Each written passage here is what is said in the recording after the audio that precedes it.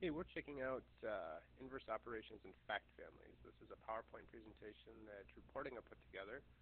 And this is Mr. Saunders. I'm going to try and talk us through this. First of all, inverse operations are when you have multiplication and division fact families. So if we have, so for example, 3 times 5 is 15, the inverse of that, the opposite, would be 15 divided by 5 equals 3. Um, one operation, as it says, shows there, can undo another. Um, just like we talked about with fact families, any set of related multiplication and division equations which use the same number are indeed fact families. Let's check out our next slide. Let's do some practice here. Let's say that a band at a football game played five songs, and each song was three minutes long. How long did the band play, and how many songs did the band play? Let's check it out. The band played five songs. Each one was three minutes long. So we're going to figure out how long did the band play. As our equation shows, 5 times 3 equals 15, so our variable of n is going to be 15. The band played for 15 minutes during the football game. Now the next question is our inverse operation. How many songs did the band play? Let's say they played for 15 minutes. They played three songs.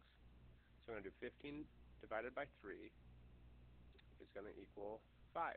So it looks like, Drew, we've got to fix a few things here with our equations and our, our quotient there. Um, we have it correct here, but we need to fix fix it here. The band did not play six songs, they actually played five, so I'm glad we caught that. Fact families. With what we know now about inverse operations, let's see what we can do with 5, 15, and 3 and see how many different facts we can make with that family. So let's take a look. If we start with 15, that's our largest number. We're going to want to divide here. So 15 divided by 5 will equal 3. We can do another division problem by doing 15 divided by 3 equals 5. Now using the same numbers in different order, we can make multiplication problems. Let's start with 3. We can do 3 times 5 equals 15. Next we can do 5 times 3 equals 15. Good. Here's some more that we can try. Let's try uh, number 2 here. Let's try 2 times 4 equals n. Let's see what we can solve for n and see if we can also write an inverse operation for it. 2 times 4 will equal 8. So n will equal 8 and then our inverse operation will be 8 divided by 4 equals 2. If we want to try another one, let's try number 3. Let's go 3 divided by, I'm sorry, 12 divided by 3 is going to equal 4. So our variable of x will equal 4. Now if we do an inverse operation, from going from multiplication, we'll need to go, I'm sorry, going from division, we need to go to multiplication. So we'll do 4 times 3 equals 12.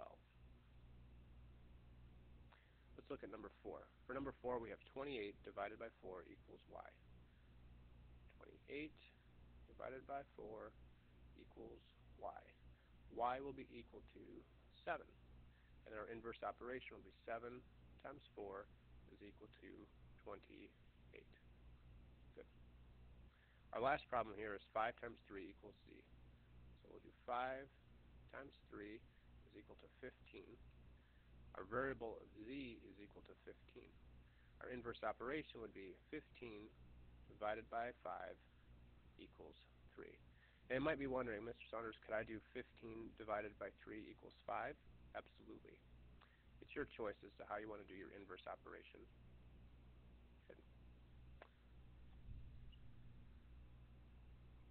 Fact families. Let's practice a few fact families. For this first one we have 2, 3, and 6. Let's make a fact family with 2, 3, and 6. We can go 2 times 3 is equal to 6. And just like you had your question before, we can also do 3 times, oops, 3 times, let's erase that for a moment. And write that a little more neatly. Let's go 3 times 2 equals 6.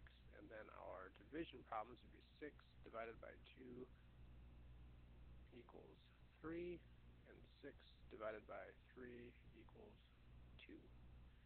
Good. Now let's move on to problem number 2.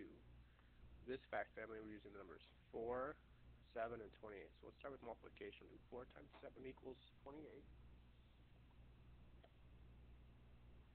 And then we'll do 7 times 4 equals 28.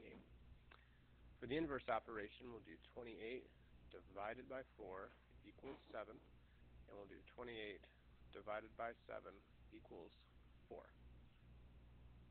There's our fact family for 4, 7, and 28. See, as Drew says, this isn't too hard. If you still don't get it, try some of these practice problems here where we have our 2, 3, and 6 fact families. Give those a try there. See if you can come up with a missing number.